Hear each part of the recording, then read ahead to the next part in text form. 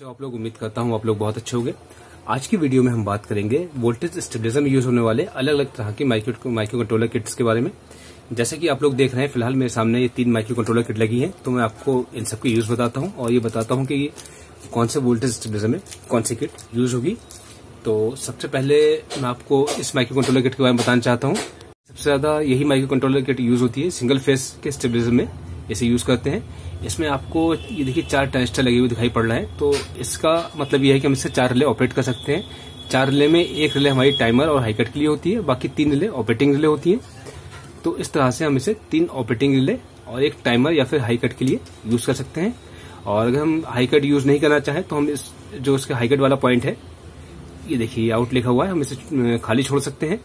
तुम output relay use नहीं करेंगे, तीन रिले में इसे यूज़ कर सकते हैं। और अगर हमारे पास मान लीजिए कोई 140 वोल्ट से स्टेबलाइजर है, यानी कि दो रिले से ऑपरेट होने वाला स्टेबलाइजर तो हम उसमें भी यूज़ कर सकते हैं। यानी हम जितनी कम रिले यूज़ करते रहेंगे, उतना ही पॉइंट हम इसके छोड़ते जाएँगे। इस पर मैंने वीडियोस बना रखे हैं, आप डिटेल के लिए उस वीडियोस को देख सकते हैं। और इसके अलावा खैर, अब हम बात करते हैं इस दूसरी किट के बारे में। तो ये आपको इसके मुकाबले थोड़ी डिफरेंट किट दिखाई पड़ रही होगी। तो आपको बता दें, ये डबल फेस में यूज़ होने के लिए बनाई गई किट है।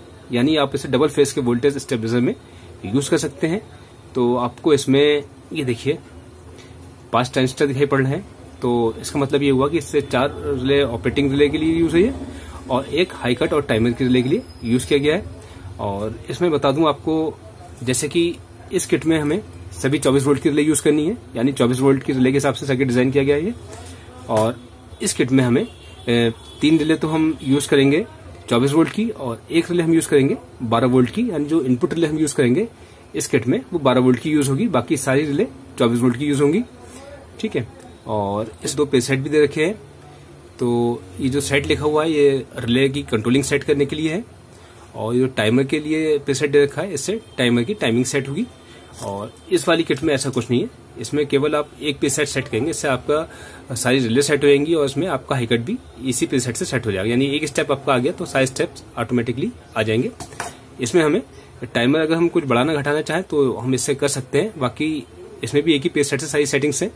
ये पे सेट से हम एक स्टेप सेट कर देंगे तो सारे स्टेप और हाईकट वगैरह सब आराम से आ जाएगा। तो ये डबल फेस के लिए है और ये सिंगल फेस के लिए है। अब बात करते हैं इस किट की। ये देखिए, इसमें आपको एक, दो, तीन, चार, पाँच। पाँच ट्रांजिस्टर दिखाई पड़ रहे हैं। तो फिर आपको इस किट के बारे में बता दूँ। तो ये भी सिंगल फेस के लिए किट है और ये भी सिंगल फेस के लिए इसमें चार टेस्ट हैं। इसमें हम तीन रिले, तीन ऑपरेटिंग रिले और एक हाई कट और टाइमिंग रिले यूज़ कर सकते हैं और इस किट के लिए हम चार ऑपरेटिंग रिले और एक हाई कट और टाइमिंग रिले यूज़ कर सकते हैं। ये भी 24 वोल्ट से ऑपरेट होने वाला सर्किट है। इसमें सारी रिले हम 24 वोल्ट की यूज़ करेंगे।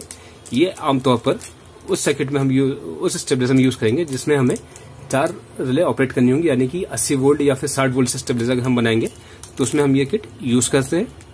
इस किट के बारे में आपको डिटेल से बताना चाहूँगा।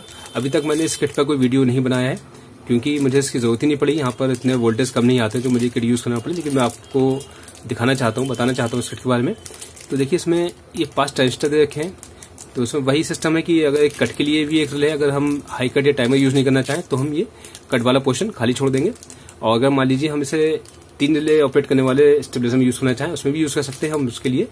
जितनी कम रिले यूज़ करेंगे, उतनी रिले का पॉइंट हम छोड़ देंगे। जैसे मान लीजिए हमें तीन रिले यूज़ करनी है तो हम इसमें केवल तीन रिले के ही कनेक्शन करेंगे और चौथी कनेक्शन छोड़ देंगे। अगर मान लीजिए हमें दो रिले ऑपरेट करनी है तो हम दो रिले के हिसाब से कनेक्शन करेंगे।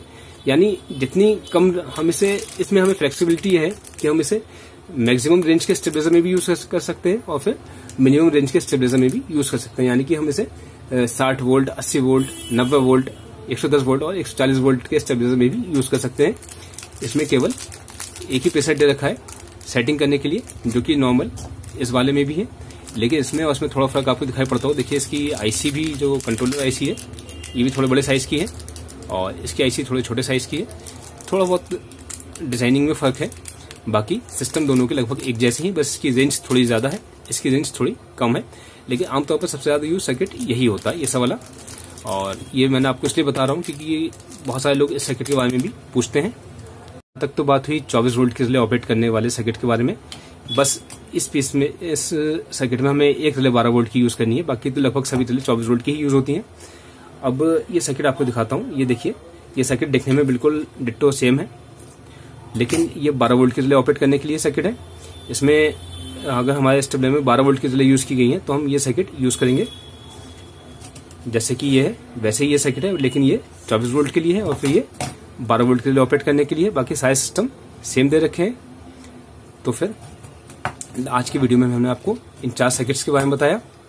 और जो अलग अलग कैपेसिटी के हैं और अलग अलग वोल्टेज रेंज के हिसाब से अलग अलग रिले के रेंज के हिसाब से इस्तेमाल होते हैं। दोस्तों वीडियो आपको कैसा लगा? वीडियो पसंद आया हो तो प्लीज़ वीडियो को लाइक कर दीजिए शेयर कर दीजिए। आप हमारे चैनल पर नए हो, आपने हमारे चैनल को अभी तक सब्सक्राइब नहीं किया है तो हमारे चैनल को सब्सक्राइब भी कर लीजिए, साथ ही साथ घंटे के निशान को भी दबा दीजिए ताकि आपको हमारे आने वाले वीडियोस की नोटिफिकेशन आसानी से मिल सके।